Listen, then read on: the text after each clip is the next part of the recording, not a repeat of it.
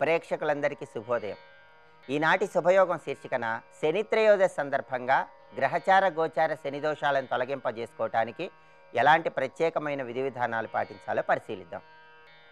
శనివారం త్రయోదశి కలిసి వస్తే దాన్ని శని త్రయోదశి అంటారు. ఇది శని భగవానుడికి ఎంతో ప్రీతిపాత్రమైన రోజు.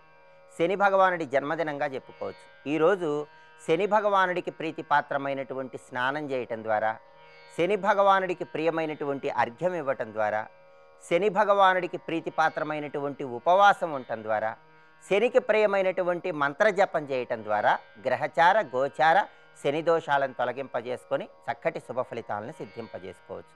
ఈరోజు శని భగవానుడికి ప్రీతిపాత్రమైన స్నానం చేయాలని భావించే వాళ్ళు ఎవరైనా సరే మీ గృహంలో పడమర దిక్కులో బియ్యం పిండితో ముగ్గు వేయండి. ఆ ముగ్గు మీద దర్భలుంచండి. ఆ దర్భల మీద ఒక బిందె ఉంచి ఆ బిందెలో నీళ్ళు పోసి ఆ నీళ్ళలో కొన్ని నల్ల నువ్వులు వేసి ఐదు నిమిషాల తర్వాత ఆ నీళ్ళతో స్నానం చేయండి. ఇలా చేస్తే అది శని భగవానుడికి ప్రీతిపాత్రమైనటువంటి స్నానం అవుతుంది. అలాగే స్నానం చేసేటప్పుడు నీలాంజన సమాభాసం రవిపుత్రం యమాగ్రజం ఛాయా మార్తాండ సంభూతం తం నమామి శనైశ్చరం అంటూ శని భగవానుడికి సంబంధించిన ధ్యాన శ్లోకం చదువుకుంటూ స్నానం చేయండి. ఇలా చేస్తే ఇది నవగ్రహాల్లో శని భగవానుడికి ప్రీతిపాత్రమైన స్నానం అవుతుంది. స్నానం చేసిన తర్వాత శని భగవానుడి ప్రీతి కోసం ప్రత్యేకంగా అర్ఘ్యాన్ని శని భగవానుడికి సమర్పించాలి. సూర్యుడి వైపు చూస్తూ శనిని సూర్యపుత్రుడిగా భావిస్తూ ఇలా అర్ఘ్యం ఇచ్చినట్లయితే గ్రహచార గోచార శని దోషాల నుంచి సులభంగా బయటపడవచ్చు ఆ అర్ఘ్యం ఎలా ఇవ్వాలంటే ఒక పాత్రలో నీళ్ళు తీసుకొని ఆ నీళ్ళలో కాసిన నల్ల నువ్వులు కొన్ని పోక చెక్కలు కొన్ని జమ్మి ఆకులు ఆ నీళ్ళలో వేయాలి. అలా వేసిన తర్వాత సూర్య భగవానుడి వైపు చూస్తూ శనిని సూర్యపుత్రుడిగా భావిస్తూ సూర్యపుత్రో దీర్ఘదేహో విశాలాక్ష శివప్రియ మందచర ప్రసన్నాత్మ పీడాం దహతుమే శని. ఈ శ్లోకాన్ని పదకొండు సార్లు చదువుకొని శనిని సూర్యపుత్రుడిగా భావిస్తూ ఈ పాత్రలో ఉన్న నీళ్ళతో అర్ఘ్యం ఇవ్వాలి ఈ అర్ఘ్యం ఇచ్చిన నీళ్ళు కూడా వేరే పాత్రలో పడేలాగా అర్ఘ్యం ఇవ్వాలి. ఆ తర్వాత ఆ వేరే పాత్రలో పడినటువంటి ఆ నీళ్ళు ఎక్కడైనా నదీ ప్రవాహంలో కలపాలి. ఇలా ప్రత్యేకంగా అర్ఘ్యమిస్తే ఈరోజు శని భగవానుడిని చాలా సులభంగా ప్రసన్నం చేసుకోవచ్చు. అలాగే ఈరోజు శని భగవానుడికి ప్రీతిపాత్రమైన ఉపవాసం కూడా చేయాలి. ఈరోజు ఉపవాసం ఉండే వాళ్ళు ఎవరైనా సరే సాయంకాలం పూట నల్లటి వస్త్రాలు ధరించి రావి చెట్టు దగ్గరకు వెళ్ళాలి.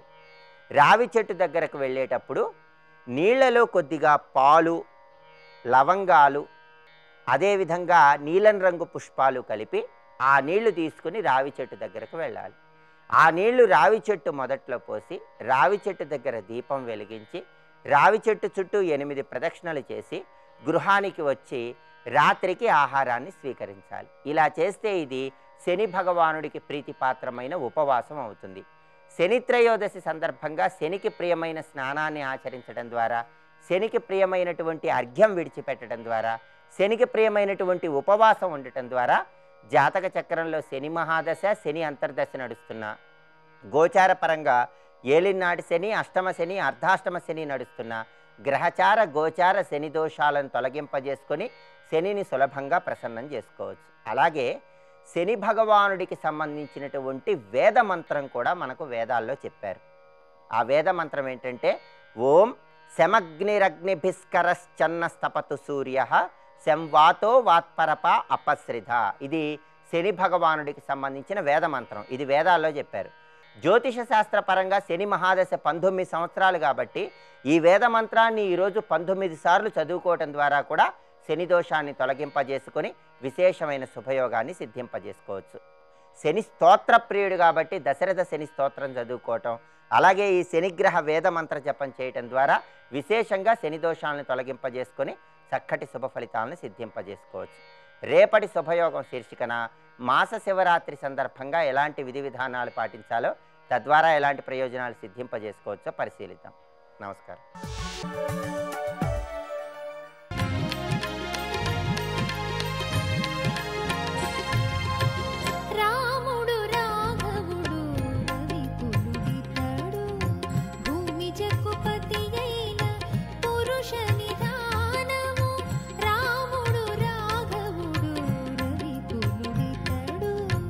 బ్రూహి సుగ్రీవా కం దేశం హ్రియంతి లక్షిత త్వయ. ఎటువైపు వెళ్ళింది ఎలా వెళ్ళింది నువ్వు చెప్పగలవా? అన్నాడు వెంటనే. వెళ్ళడం చూసాం కానీ ఎటువైపు ఎక్కడున్నది అనేది తెలియలేదు. నజానే నిలయం తస్య సర్వథా.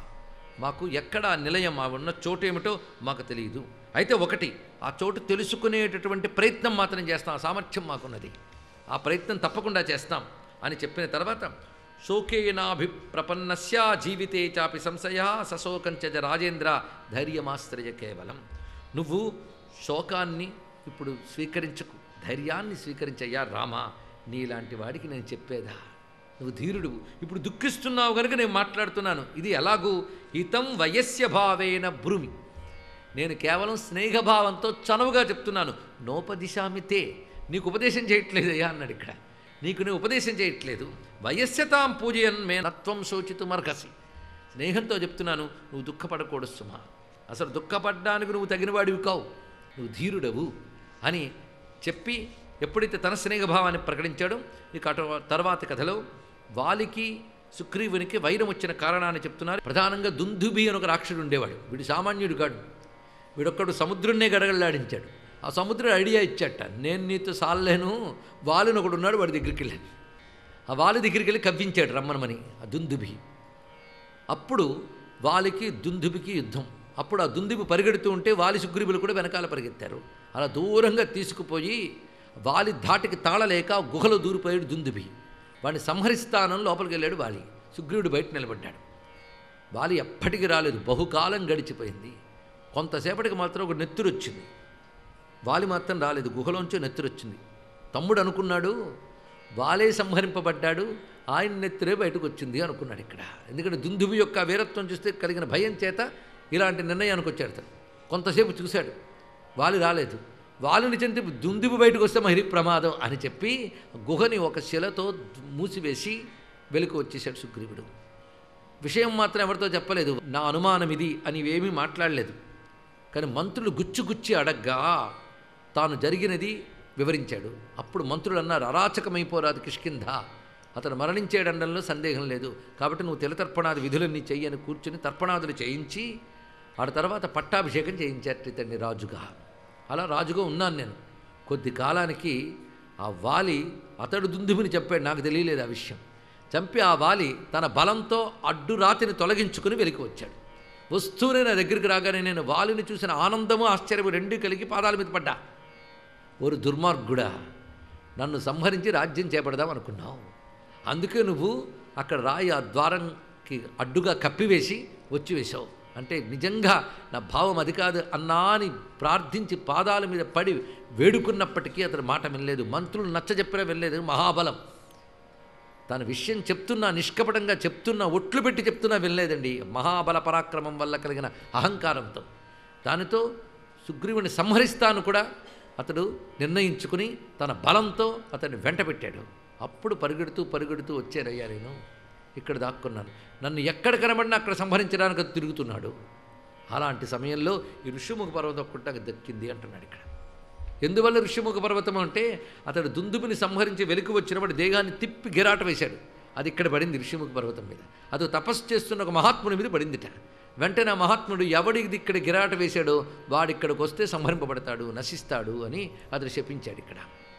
ఆ కారణం చేత అతడు ఇక్కడికి రాడు ఈ శాప విషయం తెలిసి. దీన్ని బట్టి ఎలాంటి దుర్భర పరిస్థితులైనా భగవంతుడికి హోప్ పెడతాడనడానికి ఇదేనండి మనకి పెద్ద ఆశ కూడా పెడతాడు. ఇక్కడికి వచ్చి తలదాచుకున్నాం ఇది మా చరిత్ర అని అంటే ఇప్పుడు అటువంటి వాళ్ళని వధించడానికి అనేక కారణాలు ఉన్నాయి ఊరికనే కాదు కేవలం సుగ్రీవుడికి ప్రియం కలిగించడమే కాదు అతను సంహరించడం లోకరక్షణకు భాగం. అందుకే రామచంద్రమూర్తి నేను సంహరిస్తానంటాడు. నిజమే నిన్ను చూస్తే అలా అనిపిస్తుంది కానీ వాలిని తలంచుకుంటే నీ వల్ల అవుతుందని భయం వేస్తుందని. అందుకే వాలి పరాక్రమం కళ్ళారా చూశాడు. రామపరాక్రమం ఇంకా చూడలేదు అందుకే ఇక్కడ.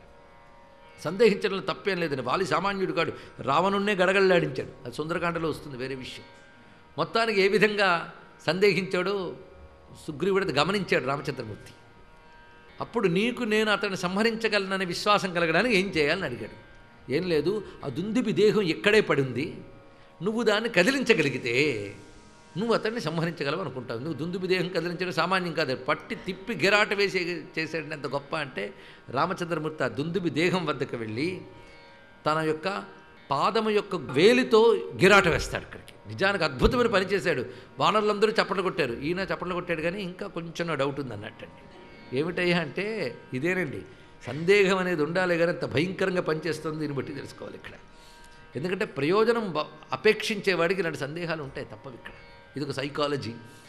అందుకు ఇంత పని చేశాక నెమ్మదిగా ఏదో నీ ముఖంలో ఇంకా సందేహం ఉంది అన్నాడు రాముడు. అంటే అప్పుడు వాలి విసిరినప్పుడు అది ఫ్రెష్. ఇప్పుడు చాలా కాలమైంది కదా ఎండిపోయి ఉంటుంది. ఎండిపోవడం చేత బరువు ఎలాగో తగ్గుతుంది కనుక సులభంగా ఎగరవేచ్చేమో అన్నట్ట. ఇది బాగానే ఉంది. ఇప్పుడు మరొక పరీక్ష పెట్టేట. సప్తసాల వృక్షములు వరుసగా. ఈ సప్తసాలముల్ని ఒకే బాణంతో కొట్టగలిగితే అప్పుడు నీ బలాన్ని అంచనా వేయచ్చు. ఎందుకంటే వాలి యొక్క బలం ఏంటో సుగ్రీవుడికి బాగా తెలుసు. అంటే సప్త సాల వృక్షములు ఒకదాని వెనకాల ఒకటి ఉంటే అన్నిటిని ఒకేసారి కొట్టగలిగినటువంటి బలము అంటే వాలి వక్షస్థలం ఎంత బలమో చూడండి అక్కడ వాడి శరీరం. అందులో కొట్టబడాలి అంటే ఏ వేగంతో కొడితే ఒకేసారి దూసుకుపోతూ ఏడింట్లోంచి వెళ్ళగలుగుతుందో ఆ బాణమే కొట్టగలదు. అది అంచనా. జాగ్రత్తగా వెళితేనే వాలి అది అర్థమవుతుంది లేకపోతే అర్థం కాదు ఇక్కడ. అదొకటి తెలుసుకోవాల్సిన ముఖ్యాంశం మనకి. ఎప్పుడైతే ఈ విధంగా చెప్పాడు సుగ్రీవుడు వెంటనే రామచంద్రమూర్తి అదే విధంగా బాణాన్ని ప్రయోగించి సప్తసాల వృక్షాలని ఛేదించాడు. దానితే రాముని బలంపై నమ్మకం కలిగింది. ఇంకా మిగిలింది ఇప్పుడు వాలిని వధించడమే. ఇక్కడ ముఖ్యమైనటువంటి అంశాలు చూపిస్తున్నాడు ఇక్కడ. తవ భ్రాతుర్హి విఖ్యాత సహాయో రణకర్కశ రామప్రబలామర్ది యుగాంత అగ్నిర్వోత్థిత అంతేకాదు ఇక్కడ ఎప్పుడైతే సుగ్రీవుడు రాముని ఆజ్ఞ మేరకు వెళ్ళి వాలిని యుద్ధానికి పిలిచాడో వాళ్ళు ఇదేమిటి వీడు నా మీదకి యుద్ధానికి వచ్చాడు వచ్చాడు పైకి దొరికాడు నాన్నకి ఋషిముఖ పర్వతం మీద దాక్కున్నాడు కదా అని వచ్చాడు. ఇద్దరి మధ్య భయంకరమైన యుద్ధం జరిగింది. కొంతసేపటికి వాలి దాటి తట్టుకోలేక వెనక్కి వచ్చేసాడు సుగ్రీవుడు వచ్చి రాముణ్ణి ఎన్ని మాట్లాంటాడు రామా ఏమిటి నీకు నా మీద పగ ప్రతీకారమా? ఏమిటయ్యా బాబు? నిన్ను నమ్ముకుని నేను దిగానే నువ్వేమీ చేయలేదేమి పైగా నానా దెబ్బలు తినొచ్చాను ఇక్కడికి అన్నాడు. ఇద్దరు ఒక్కలా ఉండడంలో పోల్చుకోలేకపోతున్నానయ్యా అన్నట్టు ఇక్కడ. అని అప్పుడే గజ పుష్పాలతో కూర్చున్నటువంటి ఒకానొక మాలని లక్ష్మణుడు అల్లి తెస్తే రామచంద్రమూర్తి సుగ్రీవుని మెడలో వేసి ఇప్పుడు యుద్ధానికి కూడా పోల్చుకోగలనన్నాడు. ఇందులో ఒక ప్రత్యేక విశేషం ఏంటంటే వీడు నావాడు అనేటువంటి ఒకానొక మరణము ఇందులో లభించిందా అన్నట్ట అక్కడ ఆ మాల వేసుకుని బయలుదేరాడు ఆయన. ఇద్దరి మధ్య యుద్ధం జరుగుతుందండి ఇక్కడ. అయితే ఇక్కడ ముందు బయలుదేరినటువంటి సన్నివేశం ఒక్కసారి తలంచుకోవాలి ఇక్కడ. మళ్ళీ వెళ్ళాడే సుగ్రీవుడు? పిలిచేట మళ్ళీ యుద్ధానికి. మళ్ళీ వచ్చాడు ఏమిటని రాబోతుంటే తార ఆగన్నదటండి తార. వారి భార్య. సుషేనుడు కూతురు. ఆమె ఆగమని చెప్పిందట. ఏమిటి? చూసావు? మళ్ళీ వచ్చాడు దుర్మార్గుడు అంటే కొంచెం ఆలోచించు. ఒక్కసారి నీ ముందు రావడానికే భయపడేవాడు రెండో మారు కూడా వచ్చాడంటే వెనక ఎవరున్నారో కొంచెం ఆలోచించు. ఇక్కడ ఈ తార మాటలు కూడా అర్థం అవ్వాలండి. ఎందుకంటే ఒక న్యాయాన్యాయాలు ధర్మాధర్మాలు నిర్ణయించే ముందు తత్పూర్వం నుంచి మనం జాగ్రత్తగా వెళ్ళాలి ఇక్కడ. ఇక్కడ తారాదేవి మాట్లాడుతున్నటువంటి విషయాలు చాలా విశేషమైనవి. తవ భ్రాతురి విఖ్యాత సహాయో రణకర్కశ రామ ప్రబలామర్ది యుగాంతగ్నిర్వోత్థిత. నేను తెలుసుకున్నటువంటి విషయం ఏంటంటే ఈమె రాజనీతిజ్ఞత చాలా గొప్పదండి. కేవలం వారి దగ్గర బండ బలం ఉందే తప్ప బుద్ధిశక్తులు తారకి చాలా విశేషమైన స్థానం ఉన్నది. అందుకు ఆవిడ చెప్తోంది నేను గూఢచారి వ్యవస్థ వల్ల తెలుసుకున్నటువంటిది ఏంటంటే ఇతడికి రాముడు సహాయుడుగా ఉన్నాడు. రాముడు ఎవడికి సహాయంగా ఉంటాడో వాడినెవడు ఏం చేయలేడు. ఇది నేను గమనించినది. సర్వం శ్రీ రామచంద్ర చరణారవిందార్పణమస్తు. స్వస్తి.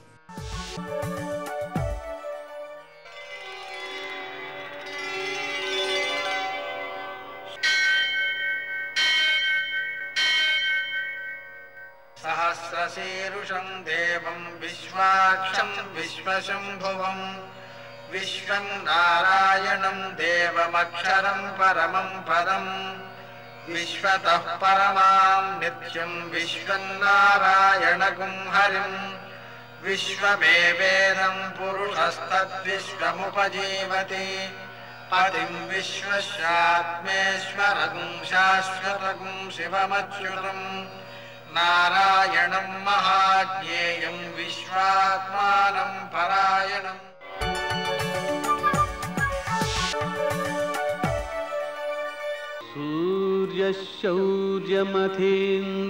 സൂര്യശൗര്യമധേന്ദുരിന്ദ്രപദവീ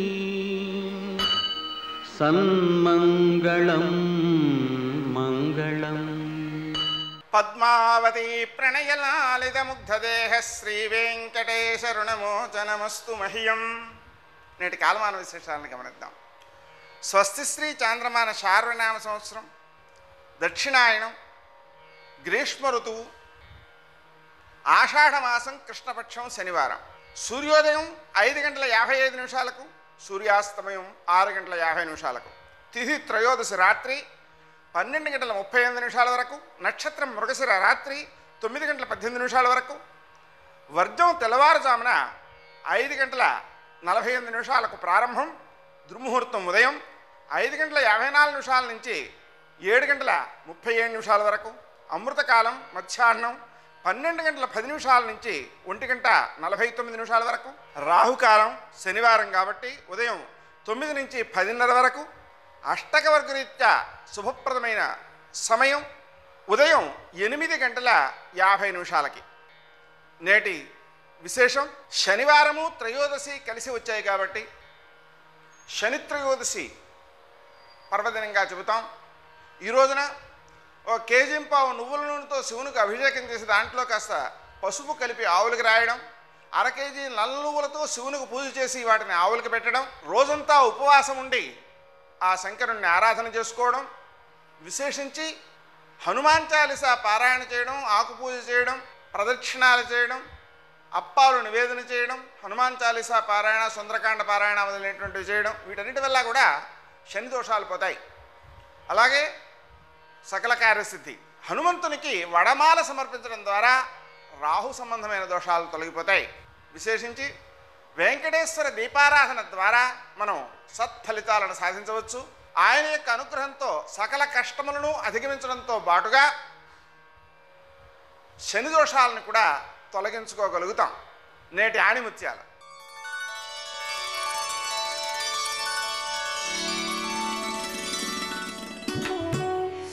మాట్లాడేటప్పుడు వంద కాదు వెయ్యి సార్లు ఆలోచించి మాట్లాడాలి.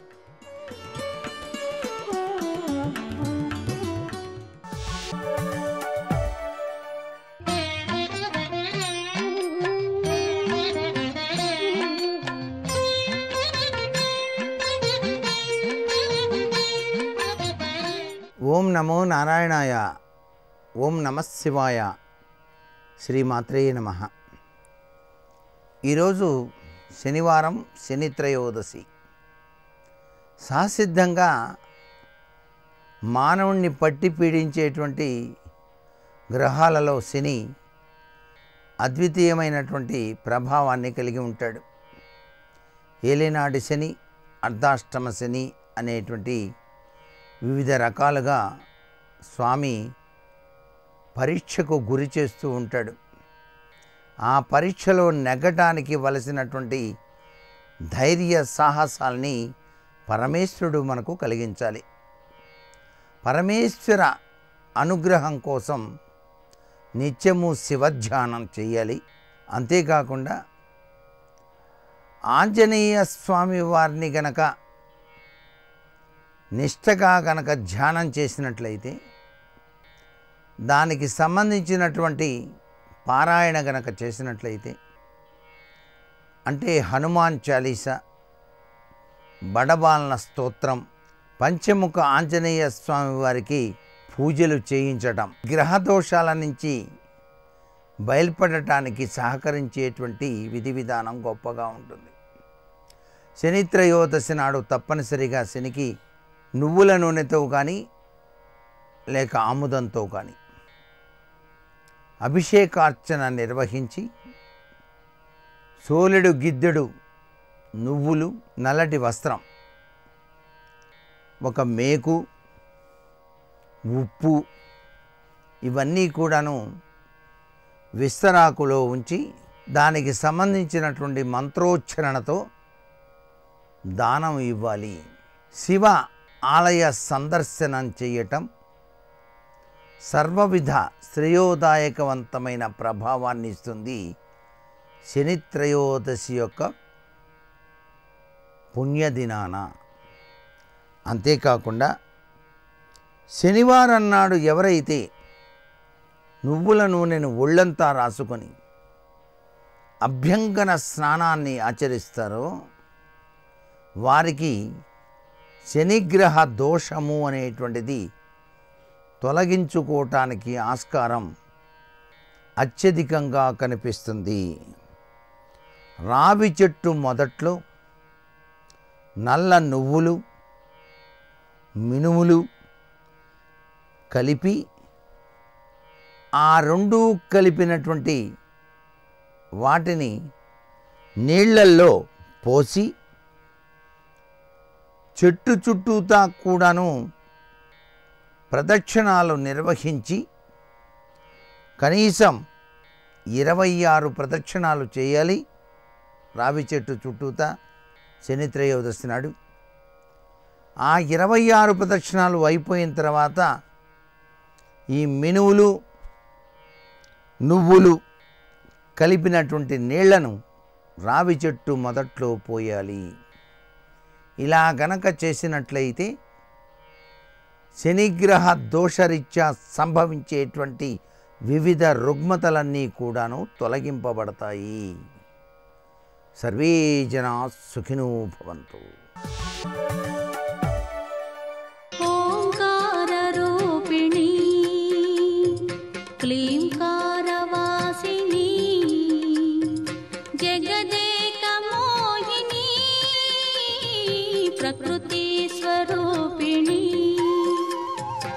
మాయచేతో కపట మంత్రములను నిన్ను ఎరిగించుకున్నాడు కానీ నీకు తగినవాడు కాడు కాడు ఏదో మాయ చేసి మంత్రం చేసి నిన్ను వశం చేసుకున్నాడు ఆయనతో పెళ్ళి ఏమిటమ్మా పోనీ పెళ్ళి చేశారనుకో రేపు పొద్దున్న ఏం చేయాలి? నువ్వేమో మంచి పట్టుపట్టం కట్టుకుంటావు. ఆయన ఏనుగు తోలు కట్టుకుంటాడు ఈ రెండింటికి ముడెయ్యాలి. చినాంబరంబులు చిలువప్ప కట్టడు మదసింధురేంద్ర చర్మంబు కాని రత్న కంకణములు రమణుడై తొరగడు. పడిరాజ కంకణము కాని చందనగంధంబు జానడై పూయడు మద పంచబాణ భస్మంబు కాని పువ్వుల దండలు భోగియై తురముడు వెలయింతలేని రే వెలుగు కాని ఇంట నుండనొల్లడు ఉలుకులలో కాని సింహమెక్కలేడు ఎద్దు కాని. చిలియా బ్రహ్మచారి రూపంలో వచ్చిన శివుడు అన్నాడు ఆయనకి నీకు ఎలా కొంగుముడేస్తారమ్మా నువ్వేమో పట్టుబుట్టం కట్టుకుంటావు? ఆయనేమో ఏనుగు తోలు కట్టుకుంటాడు. ఎలా వేస్తారు? అసలు ముడి అసహ్యంగా ఉండదు రేపు పొద్దున పెళ్ళిలో? నువ్వేమో మంచి అంగరాగములు రాసుకుంటావు. ఆయనేమో మన్మధుణ్ణి కలిచేసిన బూడిద ఒళ్ళంతా రాసుకుంటాడు. నువ్వేమో మంచి పూలదండలు వేసుకుంటావు. ఆయనేమో ఏ పూలదండ వేసుకోడు? చంద్రబింబాన్ని తెచ్చి కొప్పులో ఇలా పెట్టుకుంటాడు. ఏమైనా బాగుంటుంది అది చూడడానికి ఆ చంద్రరేఖని పెట్టుకుంటాడు. పోనీ అక్కడతో వదిలేశాడా? రత్నకంకణములు రమణుడై తొడగడు. రత్నకంకణాలు తెచ్చి మీ నాన్నగారు హిమవంతుడు ఇచ్చినా కూడా ఆయన పెట్టుకోడు. ఏ వేలుకి సరిపడ పిల్లపాము ఆ వేలుకుంటుంది ఆయనకి ఆ పిల్లపాములు పెట్టులోంచి తీసి వేళ్ళకి వీటికి కంకణాలు పెట్టుకుంటాడు. ఆ పాములు పెట్టుకున్న వాడిని దగ్గర కూర్చుంటే ఓ పక్క పెళ్ళి చేస్తుంటే ఇద్దరూ కలిసి పూజ చేస్తుంటే బుస్సు బుస్సు అనేది నీ మీదకి ఎక్కుతూ ఉంటుంది పాణిగ్రహణంలో చెయ్యెట్టుకో పిల్లపాములు పాకుతాయి. బాగుంటుందా? ఆయన ఎక్కడ దొరికాడు నీకు? పోనీ ఇవన్నీ మాట దేవుడు ఎరుగు. ఇంటాను ఉండనోళ్ళాడు ఉలుకులలో కానీ పెళ్ళైన తర్వాత అత్తారింట్లో గృహప్రవేశం చేయాలా? శ్మశానానికి వెళ్ళాలి అక్కడ ఉంటాడు. అక్కడ గృహప్రవేశం. ఆయన దొరికాడు నీకు.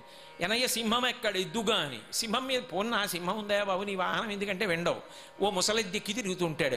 ఆయన ఎక్కడ దొరికాడు నీకు అది ఇంటనుండనంలో ఒలుకులలో కాని ఆయన శ్మశానవాసి అని ఒక మాట అంటారు. ఇదే మాట భారతంలో అనుశాసనిక పర్వంలో పార్వతీదేవి అడిగింది. ఏమండి? ఇంత పెద్ద లోకం ఉంది కైలాస పర్వతం ఉంది చింతామణి గృహం ఉంది. అక్కడ ఉండకుండా మీరు శ్మశానానికి ఎడుతుంటారు? అక్కడ ఉంటుంటారు? ఎందుకు ఉంటారని అడిగింది. అడిగితే నాకేం అమాయకత్వం? శ్మశానం మీద సరదాయో కాదు పార్వతి. బ్రహ్మగారు ఏడ్చాడు నా దగ్గరికి వచ్చి ఆ ఉగ్రభూతములన్నీ వచ్చి పడిపోతున్నాయి ఇళ్ళ మీద. అంటలా పూజ చేస్తే ఉత్తిష్టంతో భూత పిశాచాహ అంటున్నారా లేదా? అవి వచ్చి ఇళ్ళ మీద పడిపోతున్నాయి. పూజలు చేయనివ్వట్లేదు. వాటిని ఏదో ఆట పాట ఆడి అక్కడ పెట్టవయా స్వామి నువ్వు తప్ప ఎవరు చేస్తారు? ఇలాంటి పనులన్నీ చేసి పెట్టాలంటే అహంకారంతో ఆలోచించకుండా ఉపకారం చేసేవాడివి నువ్వు ఒక్కడివే. అందుకని నువ్వు అక్కడ ఉండి తాండవం చేస్తుండు భూతాలన్నీ అవి చూస్తూ కూర్చుంటాయి. ఎవరి జోలికి రావు. అంటే అక్కడ కూర్చున్నాను. రెండోది ఇంకోటి చెప్పనా? బ్రతికున్నంత కాలం అక్కర్లేని చోట్లన్నీ తిరుగుతాడు. ఎన్నో అంగరాగములు రాస్తాడు పంచెలు కడతాడు లాల్చీలేస్తాడు గొలుసులేస్తాడు ఎన్నో చేస్తాడు. నాకు భార్య ఉందంటాడు బిడ్డలుందంటాడు బంధువులు ఉన్నారంటారు పరివారం ఉందంటాడు. ఇవన్నీ అన్న తర్వాత ఎప్పుడో గుటుక్కని ప్రాణం పోతుంది. ప్రాణం పోయిన తర్వాత ఏమవుతుంది? కింవానేన ధనేన వాజిగరిభిప్రాప్తేన రాజ్యేన కిం కింవా పుత్ర కళత్రమిత్ర పశుభిర్దేహేన గేహేన కిం జ్ఞాతైతక్షణభంగురం స త్యాజ్యం మనోదూరత. స్వాత్మార్థం గురువాక్యతో భజ భజ శ్రీ పార్వతీ వల్లభం. వచ్చేవాడెవడు? తను నమ్ముకున్న శరీరం కూడా కట్టెల్లో కాలిపోతుంది. వీడొక్కడు పైకి లేచి నించుంటాడు జీవుడు. తను నమ్ముకున్న శరీరం ఉంది కదా కాలిపోతాను అప్పుడు ఏడుస్తాడు. బొక్కడు లేటురా అందరూ వెళ్ళిపోయారు. కొత్త చీకటి పడిపోతోంది. ఎవడరా నాకు తోడుండేవాడని ఒక్కడైపోయి పిరికితనంతో ఏడుస్తాడు. చచ్చిపోయినవాడు భయంతో వంద మాటలు చచ్చిపోకుండా నేనున్నాను లేరా అని వాడికి తోడు కోసం అక్కడ ఉన్నాను పార్వతి చేతకాకో చేతకాని వాళ్ళు విమర్శిస్తారనో నేను అక్కడ లేను. విమర్శించిన వాడు చచ్చిపోయినప్పుడు కూడా ఆదరంతో వాడిని కాపాడడానికి నేనున్నాను అక్కడ అని చెప్పాడు మహానుభావుడు అనుశాసనిక పర్వంలో. అందుకున్నాడు ఇంట నుండనొల్లడు ఉలుకులలోక అని అసలు నాకు ఒక మాట చెప్పండి. శ్మశానం ఒక చోట ఉందా? ఈ లోకం శ్మశానమా? చచ్చిపోయిన వాడిని శ్మశానానికి తీసుకెళ్తున్నారా? శ్మశానానికి వెళ్ళి చచ్చిపోతున్నాడా? చచ్చిపోయే వాళ్ళు హాస్పిటల్లో చచ్చిపోతున్నారు ఇంట్లో చచ్చిపోతున్నారు వీధిలో చచ్చిపోతున్నారు ఎక్కడైనా చచ్చిపోతున్నారు. నేను ఈ మాటలు చెప్తున్నప్పుడు శబ్ద ప్రకంపనలకి పాములు చచ్చిపోతున్నాయి సూక్ష్మక్రిమిలు. అంతటా చచ్చిపోతున్నారు. అయితే శ్మశానం ఈ ప్రపంచం అంతా. కాకపోతే అసలు శ్మశానం లేదు. కాబట్టి శివుడు ఎక్కడ ఉన్నాడు? అంతటా ఉన్నాడని చెప్పడానికి దాని అర్థం. కాబట్టి ఇంట నుండనొల్లడు ఉలుకులలో కాని అంతటా ఉన్నాడు పరమాత్మ అని చెప్పడానికి బ్రహ్మచారిగా వచ్చి శివుడు శివని ఇంత తానే చేసుకున్నాడు. ఆవిడ ఏం చేసింది? వెంటనే చెలికెత్తెల్లి పిలిచింది వీడట బ్రహ్మచారియట వీనుల పెట్టగరాని మాటలే పలుకుచునున్నవాడు మదనాంధుడు వీడు. నమశివాయయుండాడగరాదు ఉగ్రత వీనిని మెడపట్టుకుని ద్రొబ్బుడని చెలికెత్తెలను అజ్ఞాపింపగన్నని ఆ చెలికెత్తెలందరినీ పిలిచి వీడిని మెడపట్టుకుని తోషవతల పారేయండి అప్పుడు శివుడు యథారూపాన్ని చూపించాడు. ఆవిడ మహాపతివ్రత. ఒకప్పుడు కన్న తండ్రి దక్ష ప్రజాపతి శివనింద చేస్తే నరుడు అజ్ఞానమునం భుజించిన జుగుప్సంబైన ఎన్నము సయ్యన వెళ్ళించి పవిత్రుడైన గతి ఘనున్ పరమశివున్ నిందించిన నీ తనూభవ అనంగా నోర్వ హేయభాజనమైన ఈ శరీరమున్ విడిచి భాస్వచ్యుద్ధి ప్రాపించదన్. శివనింద చేశావు కాబట్టి నీ కుమార్తెగా ఇక నేను ఉండను. ఎక్కడైనా ఉంటే దాక్షాయిణి అంటారు. ఈ శరీరం వదిలేస్తున్నానని వదిలేసింది. వదిలేస్తూ ఒక మాట చెప్పింది. భవో నహోద్ధీష్టి శివం శివేతరహ అంది. శివనింద చేసిన వాడికి శుభములు కలగవు. అది ఆవిడ యొక్క తీర్పు ఆ అవతారంలో. కాబట్టి లోకంలో ఆ తల్లి మహాపతివ్రత. అది ఆవిడ మొదటి లక్షణం. భక్తుల ఎడ మహాకారుణ్య స్వరూపిణి. ఎన్ని దోషములు చేసినవాడు కానివ్వండి ఆ తల్లి వంక తిరిగి అమ్మా అని ఒక మాట అన్నాడా? రామాయణంలో ఓ మాట అంటారు. ప్రణిపాత ప్రసన్నాహి మైథిలీ జనకాత్మజ అలమేష పరిత్రాతం రక్షస్సో మహతో భయాత్ అంటారు. రామచంద్రమూర్తి దగ్గరికి వెడితే రామా నేను నీవాడని అనాలి. సకృదేవ ప్రపన్నాయ తమాస్మీతి చయాచితే అభయం సర్వభూతేభ్యో దదామ్యే తద్వ్రతం మమ యుద్ధకాండలో ఆయన ప్రతిజ్ఞ. రాముడి దగ్గరికి వెళ్ళి రామా నేను నీవాడనంటే కాపాడతాడు. సీతమ్మ దగ్గరికి వెడితే నోరు విప్పి మాట్లాడక్కర్లా. ప్రణిపాత ప్రసన్నాహి మైథిలీ జనకాత్మజ ఒకసారి ఆవిడ దగ్గర నేల మీద పడిపోతే చాలు ప్రణిపాతానికి ఆవిడ అనుగ్రహించేస్తుంది. ఆ తల్లి లక్షణం అది. ఆమె కారుణ్య స్వరూపిణి. సమస్త భూతములను కాపాడుతుంటుంది. దృశాద్రాఘీయస్యాదరదలిత నీలోత్పల రుచ ఈ బ్రహ్మాండములు ఎంతవరకు ఉన్నాయో అంతకన్నా ఎక్కువ దూరం చూసుకుని అన్ని భూతములను కూడా తన బిడ్డలను కాపాడుకునేటటువంటి అపారమైనటువంటి కారుణ్యమూర్తివి అమ్మ నువ్వు. కాబట్టి ఆ అన్నపూర్ణ తత్వంతో ఉంటుంది. అందుకే ఇప్పటికే ఆవిడ గురించి చెప్తూ ఓ మాట అంటే తల్లి చేతిలో పూర్ణ కలశం పట్టుకుంటుంది. ఉభౌ దర్వీ కుంభౌ మణిగణక సంభావిత గుణౌ దదానా పాణిభ్యాం అమృతర సమృష్ణాన్న కలితౌ కలాఢ్య కళ్యాణి కలిత సదనా శ్రీ గిరిసి శిరసస్యసౌ భ్రామర్యంబ రచయితుమదిష్టార్థ విభవం అంటారు. ఏమో ఏ బిడ్డ ఏ ఆర్తితో వస్తాడో ఆవిడ చేతిలో అన్నం పట్టుకుని ఉంటుంది ఇన్ని కర్మాగారాలు నిర్మించగలం ఉత్పత్తి చెయ్యగలం కానీ ఈ ఉన్న భూమి మీద పంట పండించాలంటే ఆనకట్ట కట్టగలవేమో కానీ నదిలోకి నీళ్ళు ఎలా తేగలవు ఆవిడ అనుగ్రహం ఉంటే కదూ కడుపు నిండా అన్నం తినడం అన్నం లేకపోతే ధర్మం ఎలా నిలబడుతుంది? ప్రాణాలు ఎలా నిలబడతాయి? ఆ అన్నం పెట్టగలిగిన తల్లి అన్నపూర్ణీశ్వరిగా తల్లి నిలబడి ఉన్నది లోకంలో. తెల్లవారి లేస్తే ఎవడొస్తాడు అని బంగారు గరిట మణిగణ ఖచ్చితమైనది పట్టుకుని ఎడం చేతిలో బంగారు పాత్రలో పాయసాన్నాన్ని పట్టుకుని సిద్ధంగా నిలబడుతుందిట ఆ తల్లి. అంతటి మహాదాత. అందుకే ఇప్పటికీ కేరళ రాష్ట్రంలో చెరుప్పన్నం అని చెప్పి ఓ క్షేత్రం ఉంది. ఆ క్షేత్రంలో అమ్మవారికి నైవేద్యం పెట్టి రాత్రి వరకు వచ్చిన వాళ్ళందరికీ అన్నం పెడతారు. గుడి తలుపులు వేసేసే ముందు పెద్దగా కేకలేస్తారు. ఎవరైనా అన్నానికి ఉన్న వాళ్ళు ఉన్నారా అని అడుగుతారు. ఎవరు పలకలేదనుకోండి ఏం చేస్తారంటే వండినటువంటి పదార్థాలన్నీ కూడా కొన్ని కొన్ని పాత్రలలోకి ఎత్తి దూరంగా తీసుకెళ్ళి ఓ పెద్ద చెట్టు కింద పెట్టేస్తారు. సర్వం శ్రీ ఉమామహేశ్వర పరబ్రహ్మార్పణమస్తు. స్వస్తి.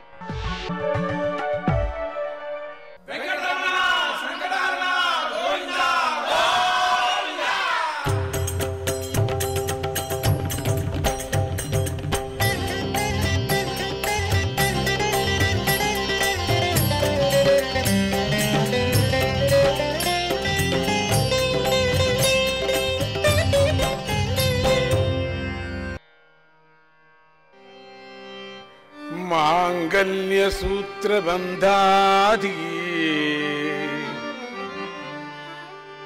साङ्कुरार्पणमज्जयः।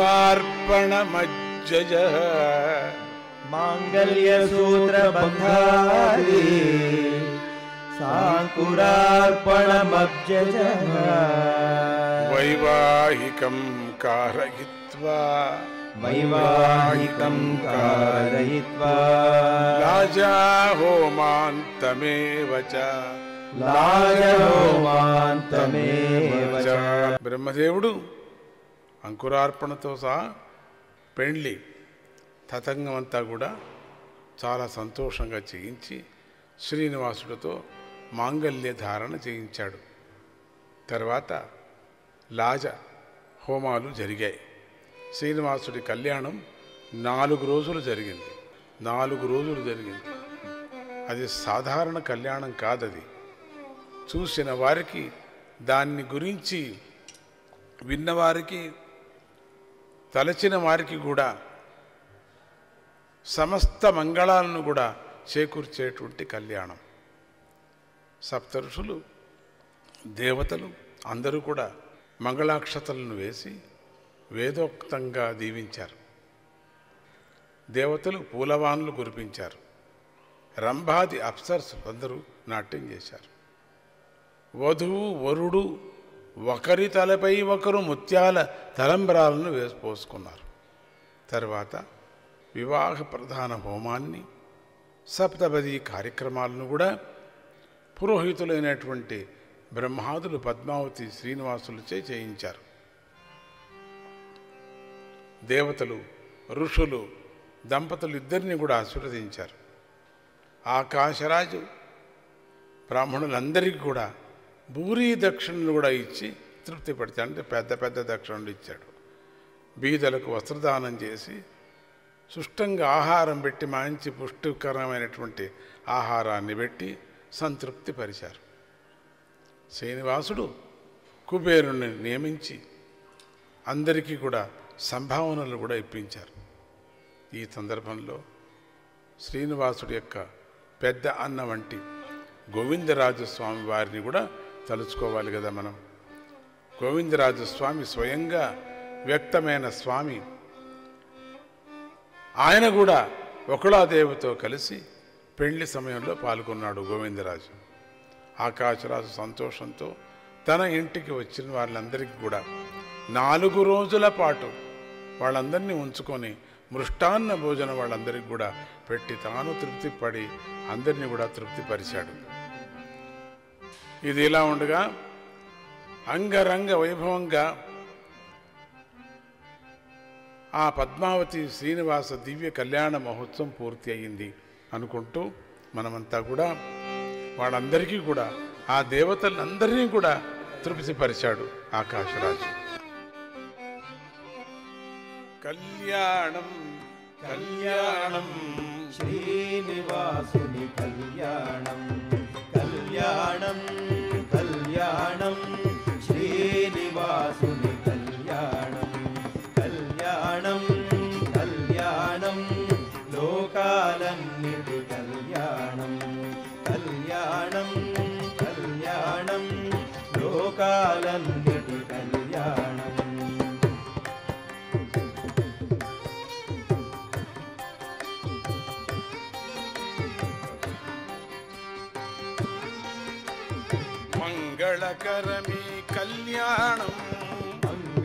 கரமே கல்யாணம். மங்க சதீஸ்வர கல்யாணம். மங்க சதீஸ்வர கல்யாணம். அங்கரங்கமுன கல்யாணம். அங்கரங்கமுன கல்யாணம். ரங்கதேவுனி கல்யாணம். ரங்கதேவுனி கல்யாணம். கல்யாணம் கல்யாணம். कल्याणं कल्याणं लोकालन्निति कल्याणं कल्याणं कल्याणं श्रीनिवासुनि कल्याणं శ్రీహరితా శ్రీహరితానే వరుడై నిలచిన హరితానే వరుడై నిలచిన శ్రీహరితానే వరుడై నిలిచిన హరితానే వరుడై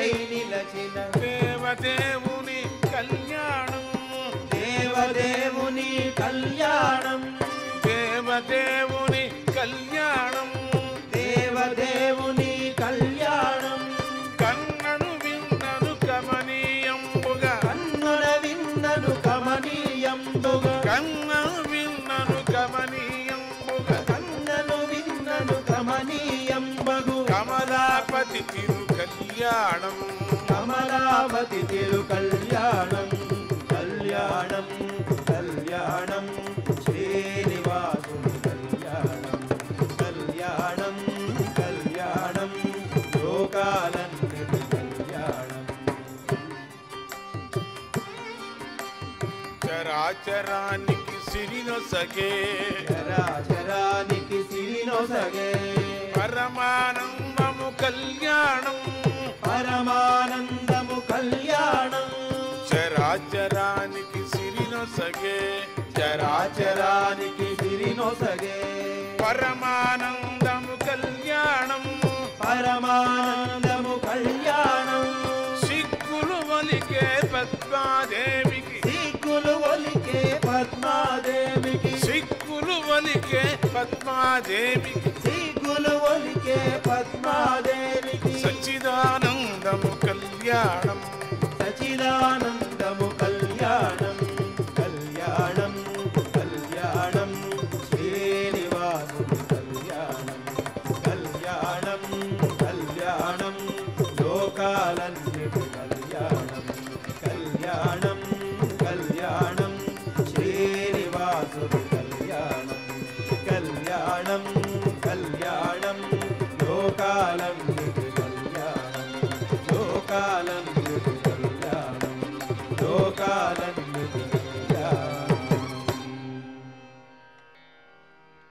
ఆకాశరాజు శ్రీనివాసుడికి పద్మావతిని అప్పజెప్పి ఇద్దరిని కూడా ఏనుగునెక్కించి విడదికి తీసుకువెళ్ళాడు. తర్వాత శ్రీనివాసుడు నేనిక శేషాచలానికి వెళతాను. అక్కడ నేను చేయవలసినటువంటి పనులు చాలా ఉన్నాయి అని ఆకాశరాజుతో చెప్పి పద్మావతిని తీసుకొని వెళ్ళటానికి సిద్ధమయ్యాడు. ఆకాశరాజు ధరణీదేవి నూతన వధూవరులను కూడా ఆశీర్వదించి గొప్ప సారెను ఇచ్చి పంపారు. ఆ సారెలో వస్తువులు ధాన్యము బంగారు పాత్రలు వగైరా అన్నీ కూడా ఉన్నాయి. శ్రీనివాసుడు ఆకాశరాజుతో రాజా ఇవి ఏవి కూడా నీ కూతురు ముందు నాకు ఎక్కువ కాదయ్యా. పద్మావతినిచ్చావు అంతకన్నా ఇంకేమయ్యా? అంతే చాలు. నీకు ఒక కూతురే చాలు నాకు. ఇవన్నీ ఎందుకు? నీకేదైనా వరం ఇవ్వాలని ఉంది. కోరుకో అన్నాడు. ఇంకా ప్రారంభం చేశాడు. వరాలు ఇవ్వటానికి. పెండ్ల ఏదే కాచుకున్నాడు వరం ఇంకా ప్రారంభం చేసుకున్నాడు. వరదరాజస్వామిలాగా. దేవా సకుటుంబంగా నాకు నీ ఎంత అచంచలమైనటువంటి భక్తిని ప్రసాదించు. మనస్వత్పాదకమలే